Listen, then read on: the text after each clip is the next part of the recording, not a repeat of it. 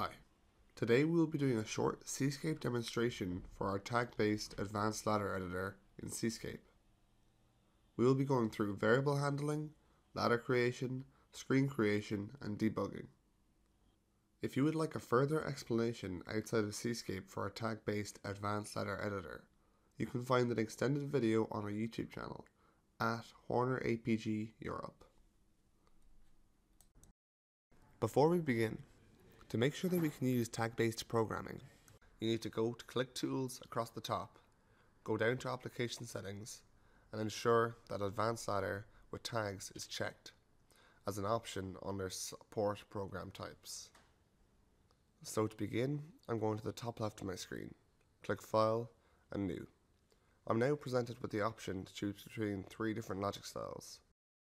Advanced Ladder Editor, which is register based, IEC editor, and advanced ladder editor with tags, which is what we will be using today. Okay, so I'm going to select it and hit OK. With register-based advanced ladder, we would usually manage our variables with the program IO names window, but in tag-based programming, we use the program variables window. If yours is not appearing like mine is, go here across the top of your screen to the Tools tab, scroll down and select the program's variables. You can pin it to wherever you want on the screen and resize it as you wish.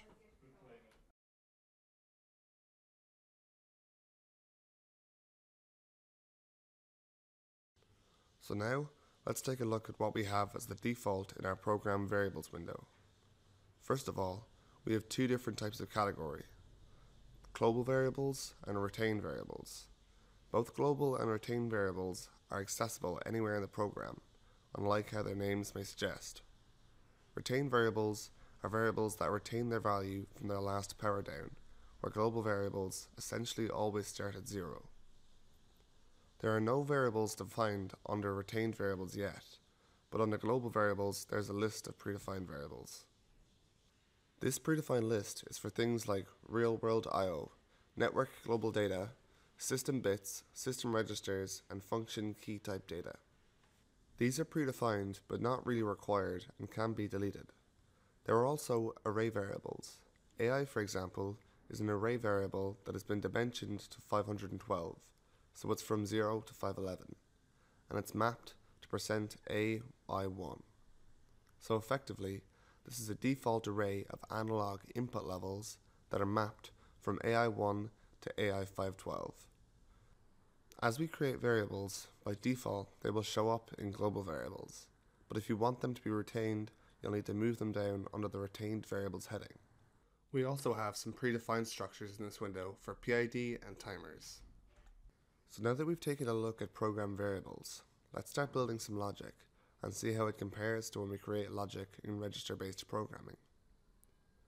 I'm going to go ahead and build a simple start-stop circuit so we'll first grab a normally open contact from here on the left and place it down, this creating a new rung. It's now prompting me to input a variable or address that I want to assign to this contact. If you remember, from register based programming, we had to define the register location and, if we chose, an IO name to go along with it. But here, we just have one choice. So we can either select a variable or just create a new one. So I'm going to do just that. I'm naming it start underscore PB for start push button and hitting OK. So straight away, Cscape recognizes that this is not an existing variable and asks if I want to create the variable, to which I'm going to say yes. This next tool that's popped up is one that's probably unfamiliar to you if you haven't used our tag-based editor before. This is where you define things such as the type of this new variable, if it's global or retained, or even part of a different user group, which is a system where you can group your variables together. You can also map your variable to a specific location through the attribute tag. For now though, this all looks good, so I'm going to say yes. And as you can see, the start PB variable that has been created has automatically appeared in my global variables tab in my program variables window. To continue, I'm going to go ahead and create a stop push button by placing a normally closed contact down on that same rung. I'm naming it stop underscore PB and I'm selecting OK. So it's boolean and everything by default is fine. So I'm going to click yes and as you can see it's added itself to my program variables window. Next I'm going to place a coil down and call it motor.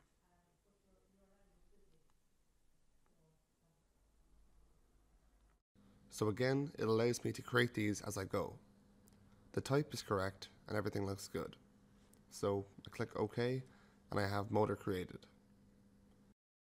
Next, I have to provide a seal around the start button.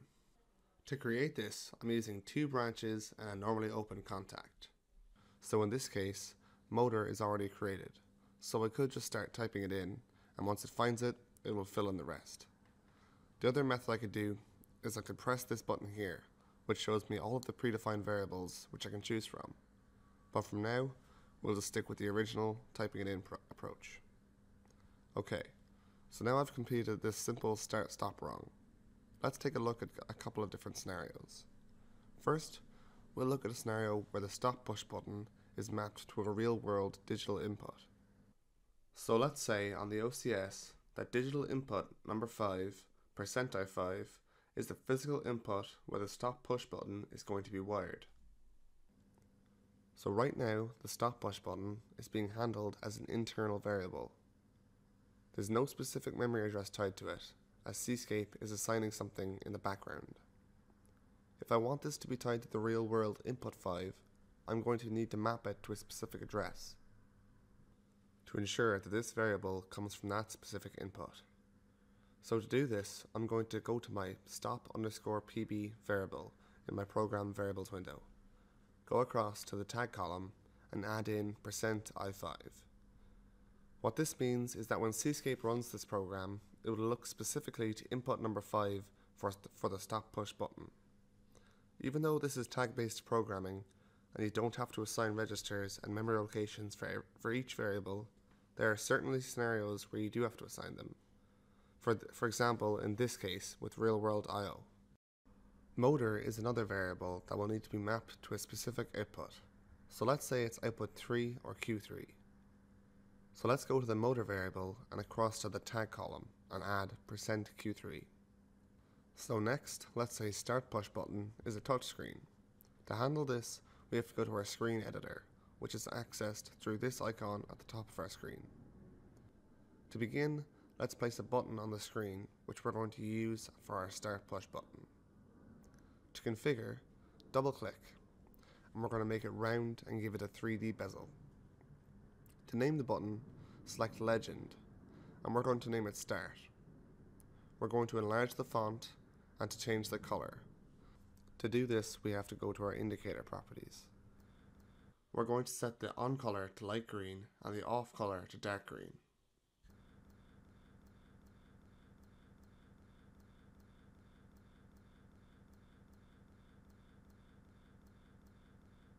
Okay, so we've defined this push button in every way except which variable it's tied to. So in this case, we want our button to be connected to our start push button variable. To do this, I can either start typing in the name or click this to clear and start to my list of variables. My start push button is set to a register width of 1 bit and everything else has already been predefined, so I'm going to select OK. So here's our start push button that's tied to our start underscore pb variable.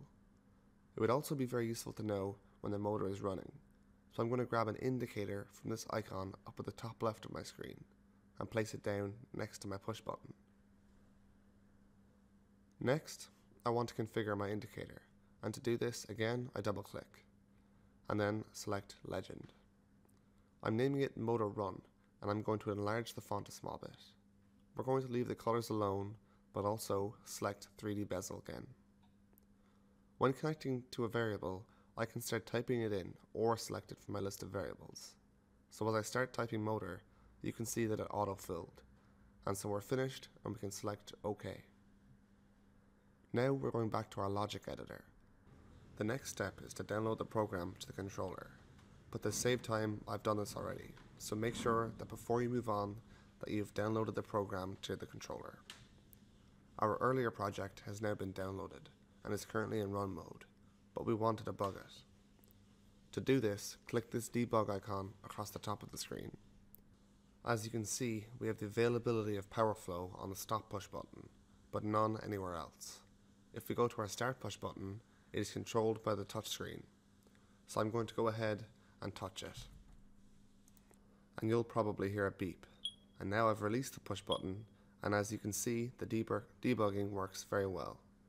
Okay, that's just simple Boolean logic, uh, creating variables as you program. Okay, so now let's take a look at timers. Timers are dealt with a little differently in tag-based ladder than they are in register-based, although it is very similar. To review, we know that timers and counters take up two consecutive words. The first word being the accumulator, for instance, what the elapsed time is. And the second word is what we call the housekeeping register. That's the one that we need to make sure we don't step on with the rest of our program. So how do we do that with tag-based logic? Because we really need two variables assigned to that timer or counter. In CScape 9.9 SP3, we have added predefined structures, so within the program variables window, we can see these. You can see we have some for PID and both timer counter 16 and timer counter 32. For this example, I'm going to use timer counter 16, which is a 16-bit timer.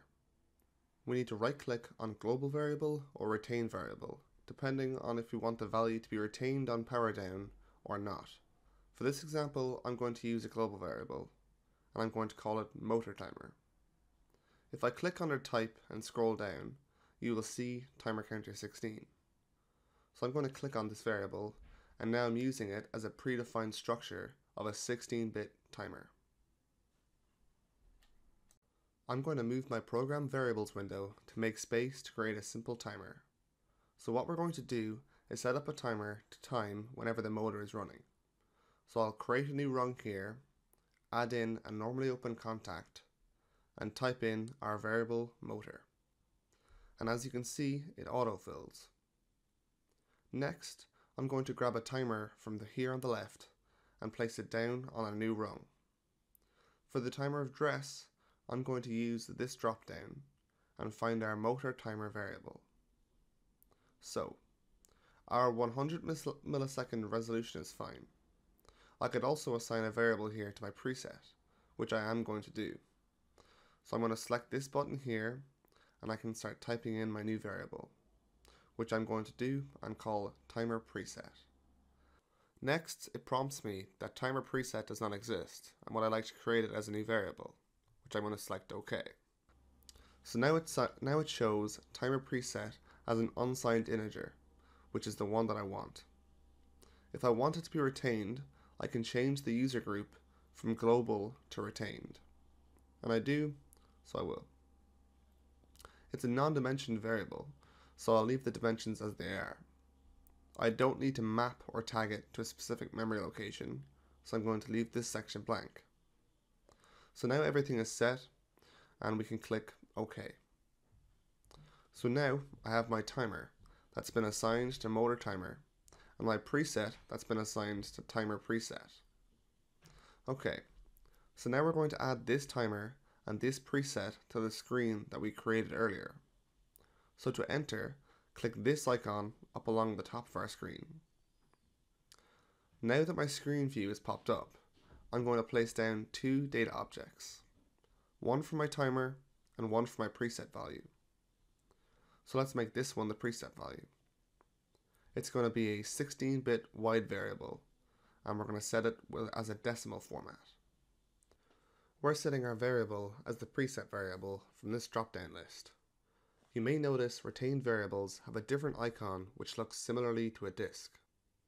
We're setting the format for 1234.1 because we plan on using decimals, as well as setting our text to motor timer preset.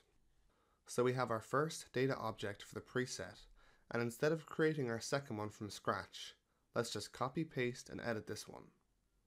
So first, I'm going to change from timer preset to motor timer the elapsed time will be in seconds, so our format won't change. This object is read-only, not read-write, so we're going to have to disable the edit write section. Lastly, we're going to set our legend text to elapsed time and hit OK. And OK. So we have added our preset value and our elapsed time. And to save time, I've already downloaded my program offline. So make sure you do that before continuing. As you make programming changes and want to test them, you have to download them to the controller. Before we can really test this, we need to make sure that there's a value on our timer preset, as we made it editable on the screen. You won't be able to see me changing it, but I'm making it 15 seconds. Now, let's enter debugging mode, and we do this by clicking this icon up across the top of our screen. So as you can see, our preset is set to 15 seconds, and we're ready to test it. So I'm going to head and start the motor using the data watch window. And as you can see, we're timing and it's working fine. So we've covered Boolean logic and we've covered timers and counters. So that's our demonstration finished for today's tutorial.